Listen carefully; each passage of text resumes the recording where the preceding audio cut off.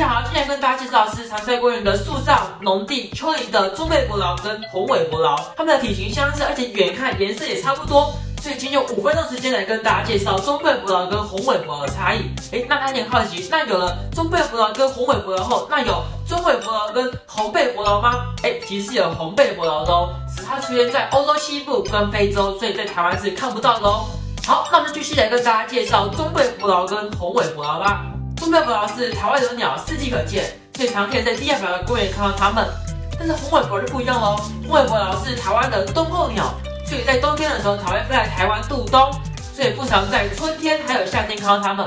好，接下来再跟大家介绍的是它们的学名。中背伯劳学名是 Lanu Shark，而英文俗名是 Longtail Striped，那意思呢就是有长尾巴的伯劳鸟。而红尾巴的学名是 Lanu Cristatus，而俗名是 Brown stripe 是指咖啡色的伯劳鸟。所以我可以发现它们学名的第二个字都是一样的，都是伯劳属 Lalus，但是它们的总小名就完全不一样的哦。中背伯劳的总小名是 Sharkit，而红尾伯劳的总小名是 Cristatus，是完全不一样的。现在我们比对中背伯劳跟红尾伯劳的照片，我们可以发现中背伯劳大小呢比较大一点，但是远看的时候呢就分不太清楚它们的大小了。所以接下来要跟大家介绍的是要如何分辨中背伯劳跟红尾伯劳的差异。那我们直接开始吧。第一个愿意跟大家介绍最明显的差异，翅膀。中背伯劳翅膀有三种颜色，由上到下顺序是灰色、橘色、黑色。但是红尾伯劳只有一种颜色，就是咖啡色。第一个是它们头顶和头后颜色，中背伯劳的颜色呢是灰色，而红尾伯劳的颜色呢是咖啡色。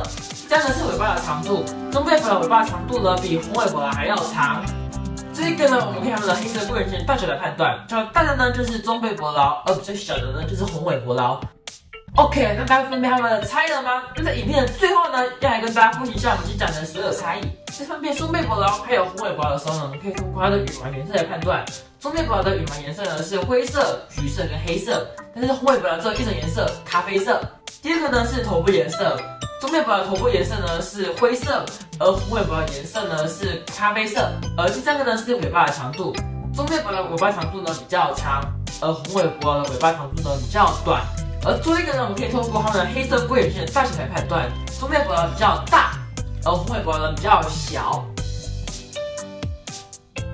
OK，各位，那现在大家分辨中背伯劳还有红尾伯劳了吗？那如果都学会的话，那记得在冬天的时候，直接去观察一下它们的差异。谢谢大家，那如果喜欢的话，记得帮我按赞、订阅，还有小铃铛哦。